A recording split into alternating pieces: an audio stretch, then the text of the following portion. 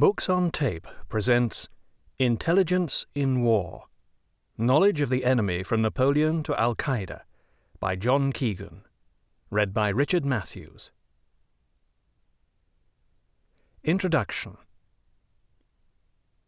This book sets out to answer a simple question How useful is intelligence in war? The volume of literature on the subject suggests that it is very important indeed.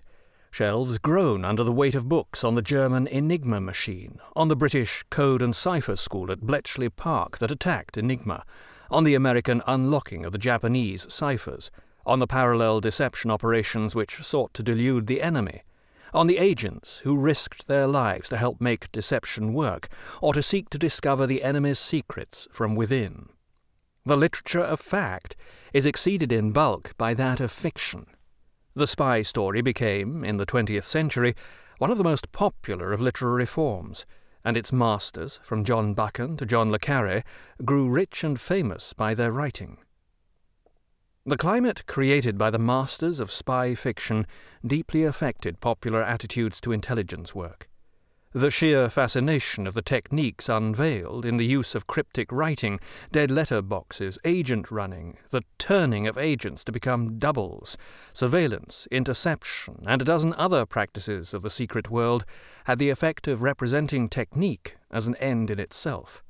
The spy achieved the status of hero, or sometimes anti hero, a mysterious and glamorous figure who was made to seem significant because of what he was rather than what he did.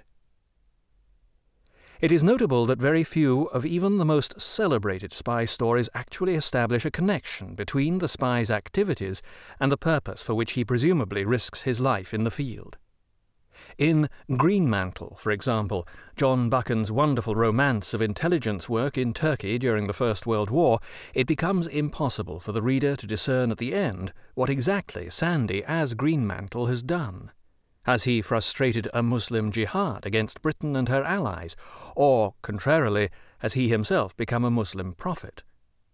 In The Riddle of the Sands, the first serious novel of intelligence to appear, and still one of the best, Erskine Childers subtly suggests how the Germans may mount an invasion of Britain's east coast through the secret channels around the Frisian Islands but the denouement of his tale does not demonstrate that his two patriotic yachtsmen actually caused the Admiralty to take appropriate precautions. In Kipling's marvellous Kim, ostensibly an unforgettable panorama of Indian life on the road, but essentially a spy story, his hero does unwittingly help to frustrate a rising in one of the princely states. But the climax results in nothing more than his making fools of some Russian spies on the Himalayan border. In almost none of John le Carre's brilliantly convincing constructions of spy and counter spy life does he show an objective outcome for what his characters do. They are fighting the Cold War, but, after all their intricate delusions and deceptions, the Cold War goes on. The author might rightly say that he was representing reality. The Cold War, thankfully, did not have an outcome certainly none in military terms, and it was the function of the intelligence services on both sides to see that it should not. They were playing a game, and the point was to keep the game going, not to win. No one would disagree with that, or ought to complain, in the absence of a tangible result, that intelligence is a vacuous activity. The intelligence services of all states originated nonetheless in the efforts to avert an enemy's achieving a military advantage, but to achieve military advantage in return. In peacetime, intelligence services may merely tick over. In war, they are supposed to bring victory. How effective are they? How do they, or how do they fail to, do it? The novelists of intelligence have disseminated an enormous amount of information about intelligence techniques some of it is accurate, some is misleading. Few of them, however, even such writers who are as personally experienced in intelligence work as John le Carre, have set out in full the essential components and sequence of effective intelligence operations. That is understandable. Much intelligence practice is mundane and bureaucratic, unamenable to treatment in readable form. Even the most mundane, however, is essential if intelligence is to be useful. There are five fundamental stages. 1. Acquisition. Intelligence has to be found. It may be readily available in published but overlooked form. A former director of the CIA warned his analysts against what he called the Encyclopedia Britannica factor. Do not waste effort in seeking information which may freely be found in newspapers, scholarly journals, or academic monographs. Stalin's Russia took precautions to make information as difficult to acquire as possible by restricting the distribution of such everyday material as telephone directories and street maps. As a general principle, however, it may be taken that information useful to an opponent is what may be called secret, and has to be collected by clandestine means. The most usual methods are spying in all its forms, now technically known as human intelligence or HUMINT, by the interception of an opponent's communication, which will probably require decryption, signal intelligence or SIGINT, by visual surveillance or imaging, through photographic or sensory reconnaissance by aircraft or satellite. 2. Delivery. Intelligence, once collected, has to be sent to its potential user. Delivery is often the most difficult stage, particularly for the transmitter of HUMINT. The human agent may be watched, or may rightly fear overhearing or interception, or may be vulnerable to arrest at points of meeting. Moreover, the sender is always under the pressure of urgency. Intelligence goes stale or is overtaken by events. Unless sent in timely fashion, preferably in real time, which allows it to be acted upon, it loses its value. 3. Acceptance. Intelligence has to be believed. Agents who volunteer their services have to establish their credentials. They may be a plant. One's own operatives may have been turned or may have fallen under the control of an opponent's counter espionage service. Even what they honestly offer may be wrong or only half true. Intercepts appear more dependable, but they may be bogus. Even if not, they can tell only part of the truth. Henry Stimson, American Secretary of State, rightly warned of the difference between reading a man's mail and reading his mind. 4. Interpretation.